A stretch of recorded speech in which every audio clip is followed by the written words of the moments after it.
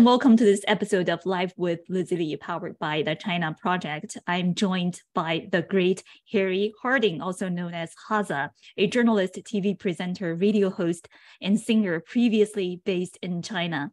So, Harry, for those in our audience who are not familiar with your story yet, can you give us a sneak peek into your life? How did you become such a rock star anchor at uh, Guangdong 电视台, uh, Guangdong TV or Guangdong 广播电视台? And what led you to pack your bags and head back to your roots in Australia finally?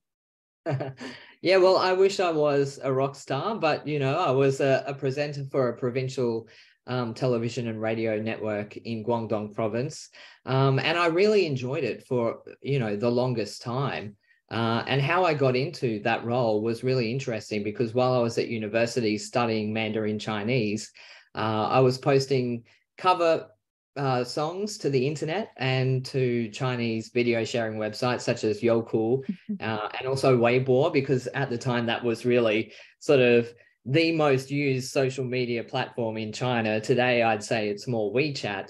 Uh, and some of those videos actually went viral and got uh, a few million hits. And, you know, we're talking about 13, 14 years ago. So those were some quite high numbers at the time. And then, so I went for a, a, trip to China after I graduated. I, after I graduated, I went for a trip to China and I initially went to Beijing, but the airline that I flew on lost my luggage and it was the middle of winter. So I had no winter clothes. Um, and I looked on a map and said, where can I go that's a little bit warmer? And that was Guangzhou. So I flew down there for a couple of days and a producer from uh, a Guangdong television talk show um, saw from my Weibo that I was in Guangzhou and invited me um, to be on his show. Um, and so I went there and they interviewed me about my singing. And then after the show was finished, um, they said to me, Well, we're looking for a new presenter for our channel. Would you be interested? And so obviously, I jumped on that chance. I thought it was a very interesting opportunity. Um, and so I went back to Australia for a couple of weeks and sorted everything out and packed my bags and then went back over to Guangzhou to start this new role as a television presenter. And, um, you know, initially my plan was one year or two mm. years, but that, you know, one year after another, it sort of evolved into 10 years and then 12 years. Um, so it was the right place at the right time because, you know, um, this was at the tail end of the Hu Jintao era. So the media environment in China at that time was a lot different. Also, the relationship between Australia and China was very good at the time. And so it did feel like I was in the right place at the right time. Um, in regards to why I came home, I'd been in China for 12 years. So, you know, in one regard, I felt like that was a full cycle of the Chinese zodiac. Uh, you know, 12 years, it's a, a good time to to to close the chapter. Um, also, I was, you know, missing my family, being away from from family and friends during COVID not being able to fly home. It's it's not a long flight from Guangzhou to Brisbane. It's about seven or eight hours. So I could in the past come home for long weekends and things like that. But uh, you know, as relatives get older and you want to spend as much time with them as you can, I thought 12 years was enough. Um, and also things had changed in in China. Um, especially in the media environment, things were changing. Um, you know, for people who are familiar with China and especially Guangzhou, I think they would understand that in in Guangzhou, you know, the media environment in Guangzhou was always a lot more open than in other parts of China, especially further up north, say in mm-hmm. Beijing. And mm-hmm. so for the longest time, I felt like I was doing something constructive and and something meaningful um, where I was. But unfortunately, you know, uh, things had changed and that was becoming more and more difficult. So I did have to make the decision and say, you know, for my own well being and mental health, uh, is this really the right path for me to continue on? And I just decided that it wasn't. So uh, I came back to Australia and um, I'm now studying a master's degree in international relations. Oh, wow. Um, so, so it's a bit of a change, but, uh, and I'm still adapting. Um, but that's basically the gist of it. Mm, wow, fantastic story. What a story. But let's go back and talk a little bit about Chinese state media. You know, there's sure. a lot of resources poured into this uh, whole 讲好中国故事 mission, right? Telling China's mm-hmm. story well. But at least to us who, you know, live in live in the, the West, it seems right. like China's message is falling flat consistently. As a mm-hmm. former insider, what do you think makes Chinese state media struggle to get their media uh, to get their message across to the international audience?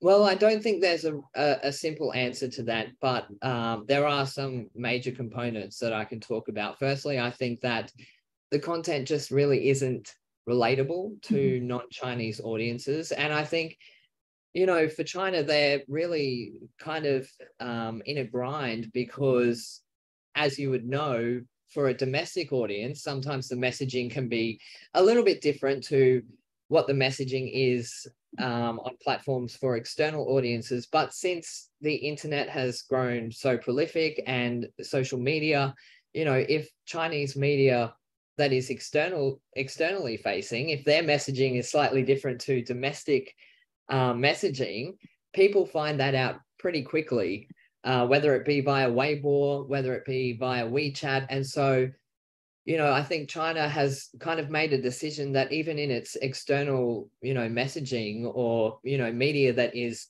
externally facing, they've decided, well, we're not really making much traction with international audiences. So it's important for us to make sure that our external messaging aligns with our domestic messaging so that we don't upset a domestic audience.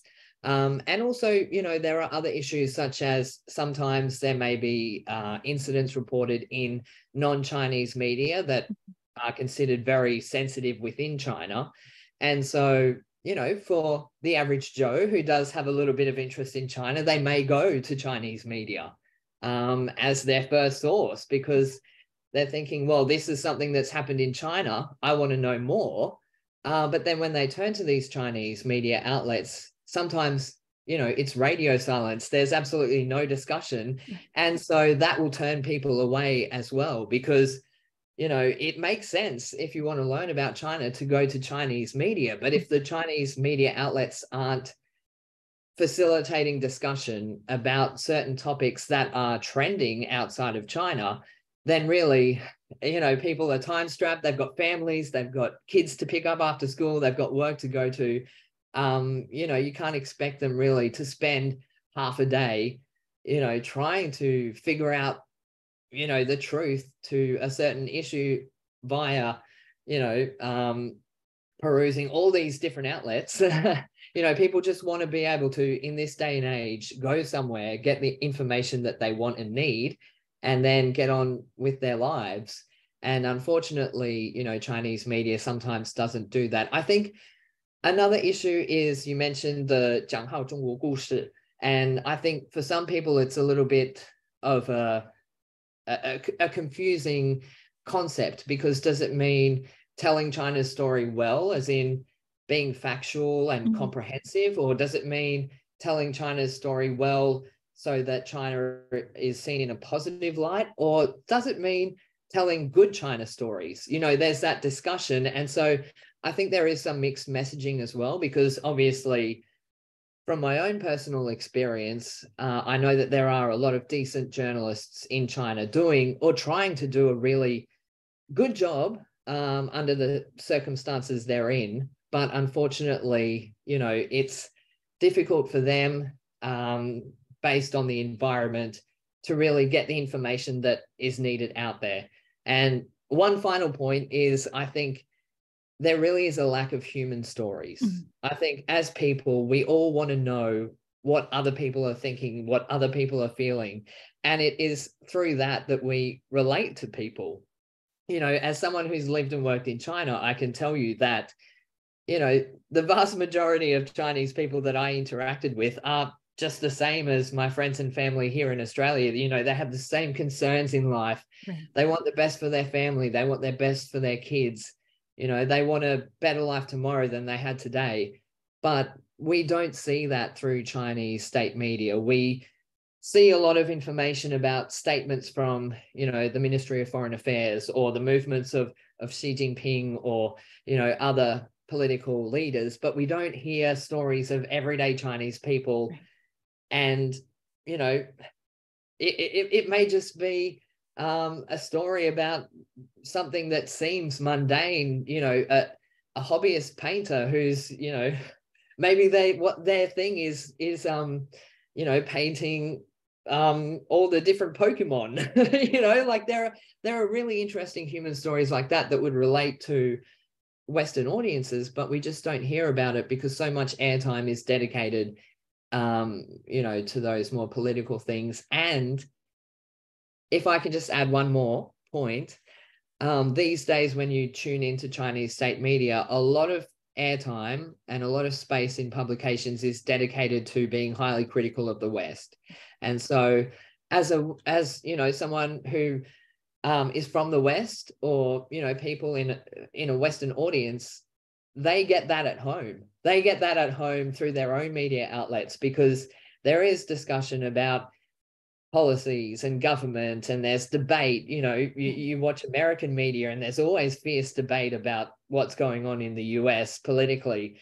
Um, and so people don't tune in to chinese media to see that uh, you know because they can get that at home. They want to see china. They want to know about china. They want to hear from chinese people. And chinese state media just isn't delivering that so that is why i think despite the huge investment um, you know, in many respects, Chinese state media has failed to gain traction.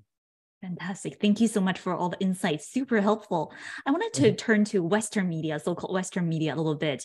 I've been pondering lately on how we in the West might actually be missing out if, if we do not truly understand China. But to be mm-hmm. honest, our media's coverage of China can be pretty one-dimensional and simplistic as, as, as well. What do you think is the biggest story we are sort of ignoring or overlooking when it comes to China? What is this one really important topic that you feel is not getting enough airtime in Western media?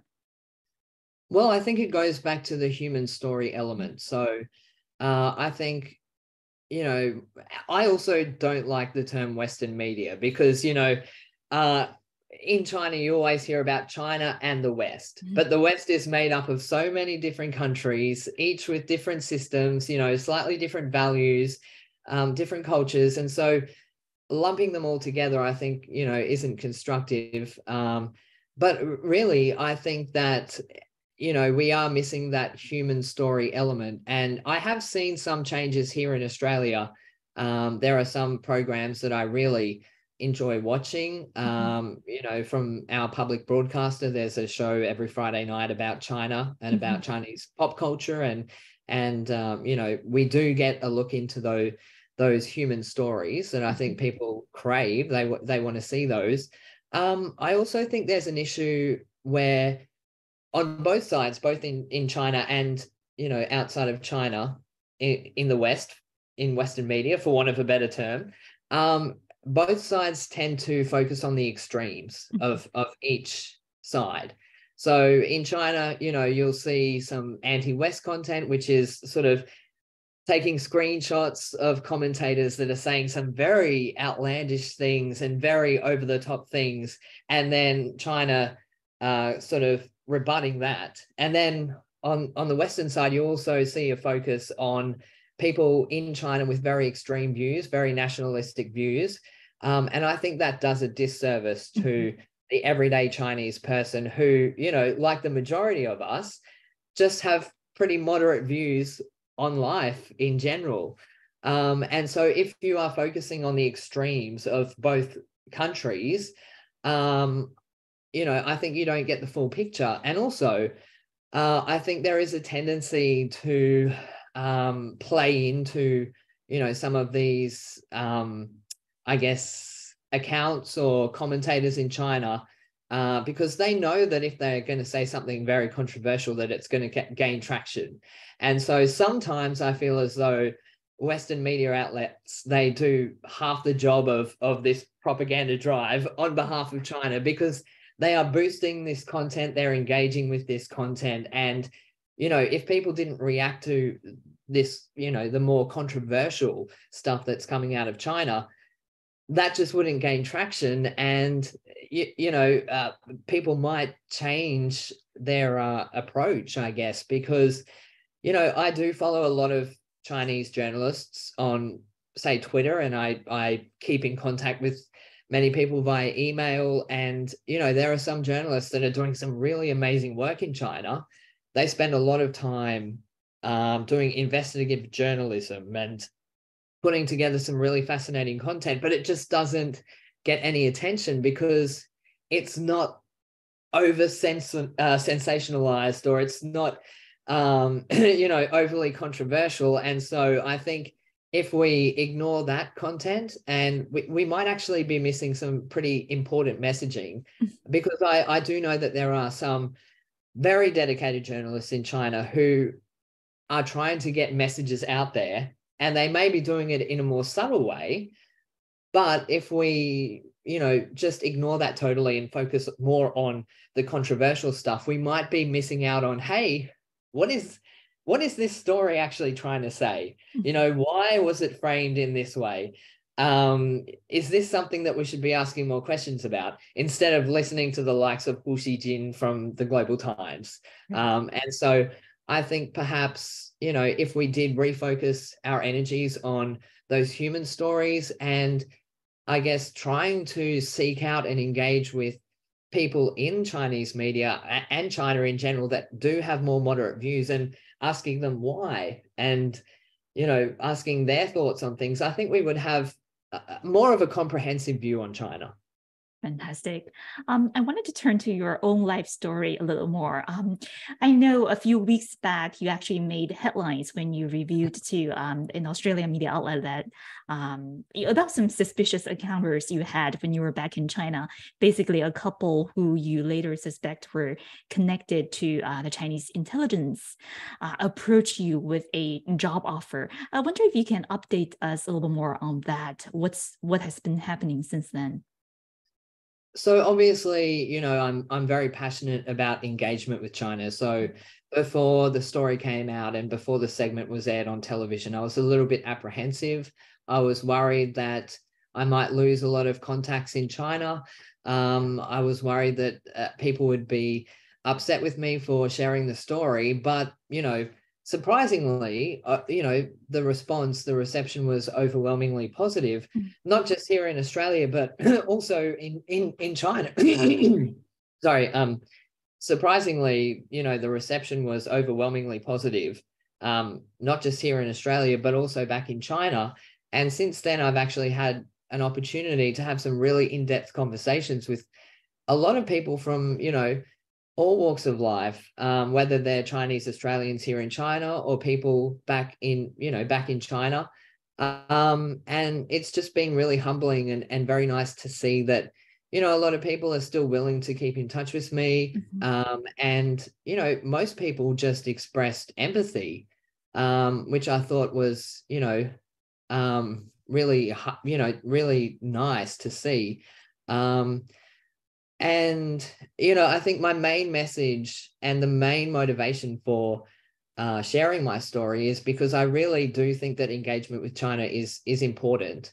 Um, I just think people need to be aware of, you know, what's out there and what challenges they may face. Um, and also another concern that I have here in Australia is that our foreign interference laws may be a little bit too broad.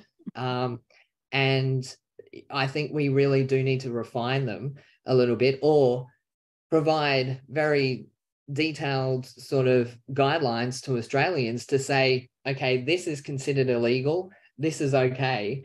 Otherwise, at the moment, what I'm worried about is Australians going to China and somehow getting involved in something that is considered illegal without them even knowing. Right. You know, because I was in China for such a long time, I, I speak the language. Um, and so, you know, I could pick up on the red flags. I knew um, that this was something that I didn't want to get involved in. Um, but I just worry, you know, people that may be new to China or people that may not um, have, you know, a deep cultural understanding of China or they may not be able to speak the language. You know, if someone comes to you and says, I work for a think tank, um, I'm really interested in engaging your services and you know i mean being invited by someone who's claiming they're from a think tank for a lot of people that's that's a great opportunity. You know oh this is great i'd love to do this. Um, it'll look good on my resume. You know i might learn a thing or two but um, unfortunately sometimes you know that may not be the case. And i don't think we should um, you know uh, what I what I wish for is that Australians will give fellow Australians the benefit of the doubt, especially when Australians are engaging in China. And so I think the way foreign interference laws are at the moment here in Australia, I am just worried that you know other Australians may get caught up in this um, without knowing the true nature of what they're involved in. And also, I think that prohibits people from actually going out there and and experimenting and you know talking to all different people. I think that's the strength of australians you know that we go out into the world and we explore and we experience and then we come home and we can share those experiences. But um, you know if people are going to china and they have to constantly think in the back of their mind well i've got to worry about this and i've got to worry about that um, you know that can really be i, I guess restrictive. Um, and so, my main message that I would really want to emphasize is that I think we need to rethink some of those foreign interference laws, and we need to give Australians the benefit of the doubt. Mm-hmm. Uh, and and me coming forward and telling my story, it was just so that people are aware that this is happening, um, and so people can make informed decisions about who they work with and in what capacity uh, because I think it's great that Australians are still going to China. We need more Australians to, to understand China so that we can engage with China constructively. Um, and you know, I I just feel more passionate about being involved in this space in the China Australia space since that article came out, just because the response was so overwhelmingly positive and and people were very supportive and you know it just reinforced in me that we're all just people at the end of the day. You know, we're all just trying to do the best we can in life. And, um, you know, but I, I will say one thing, um, which I have been reflecting on um, since the, the article came out, because, you know, after the ABC did some investigation, uh, I was able to get more answers than I had before. Mm-hmm. Um, and, you know, I, I do feel that it's a little bit, you know, uh, contradictory for China to be detaining a number of Australians in in China uh, on espionage charges when, you know, I was working for a Chinese state media outlet and I was approached two times um, to, you know, in an attempt for me to engage in espionage. So I, I think that, you know, it saddens me that, that Australians are detained in, in Beijing um, on charges of espionage when you know, on the other hand, I went through this. And so, you know, I hope that um, Australians in China can look after themselves, mm-hmm. make smart decisions, but also be confident in what they're doing and, you know, know that being in China is a huge asset to our, our country, Australia. And, you know, um, to the world, if we have non-Chinese people or, or you know, um, people in the West of Chinese heritage going to China, living and working there, studying the language, you know, it's an asset and we should appreciate those people for doing that. Fantastic. Fantastic. Thank you so much. Final question of the day. Uh, we don't get to talk to Xi Jinping in person these days or ever, but if you could sit down with you know President Xi Jinping himself and actually have a heart to heart conversation with him about you know, uh, the state of media in China, uh, the media environment, which has been deteriorating for a while. What's your game plan? What would you say to, to President Xi Jinping? Well, obviously, President Xi Jinping uh, really likes to emphasize the importance of mutual respect and dialogue.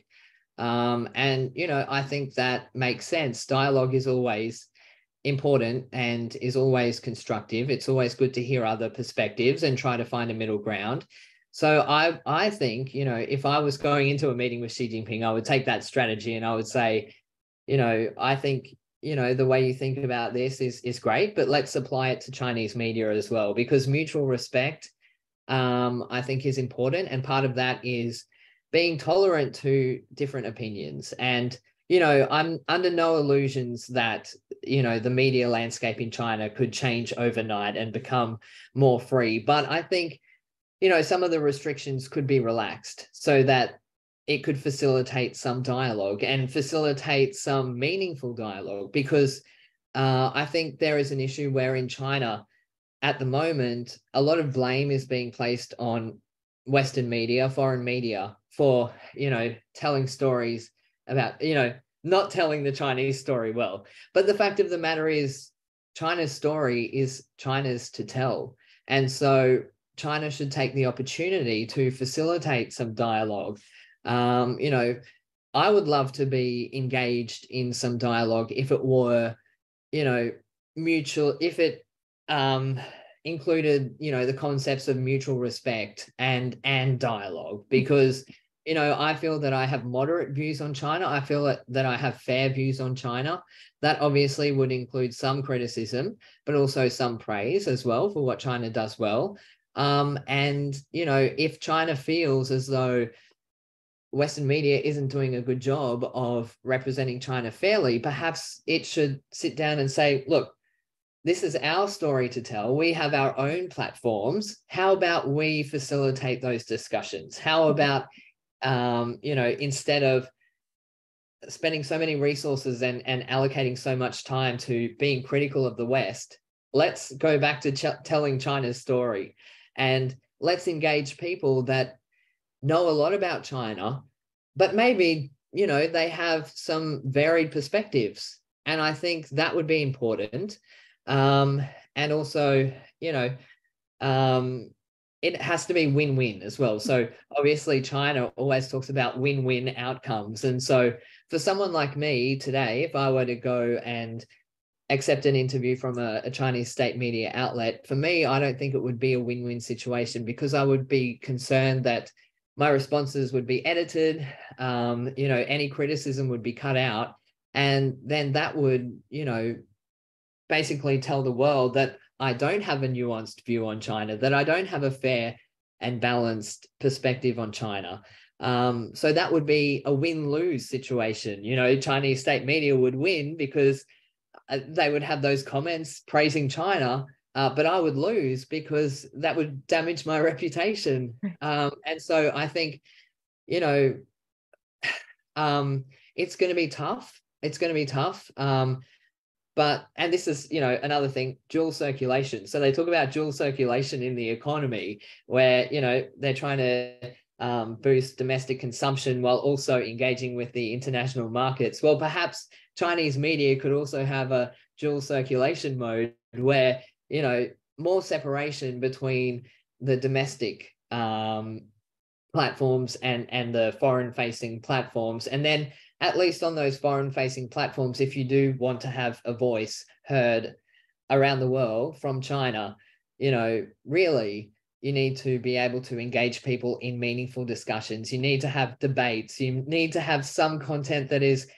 you know, it's critical of, of what China doesn't get right because everywhere else we look, you know, whether it be Fox News or whether it be CNN or whether it be Sky News or, you know, all of these different channels, they always have debates. And obviously they have their own Li Chang, they have their own sort of um, slant on everything, but there are debates and, you know, there is criticism of, of, of people and politicians and policies and whatever it is. So it's hard for an audience that is used to that to turn on something like CGTN and see none of that.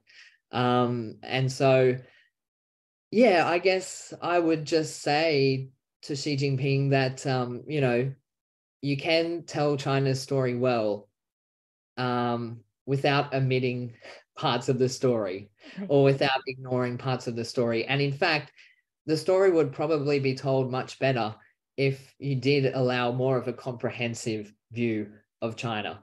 Um, and, you know, it may it may be a risk it may be risky to to start doing that but you know if you really do want to make sure that your own platforms are engaging and you know are appealing to a western audience then perhaps you know allowing some more discourse with some more room for disagreement would be a good start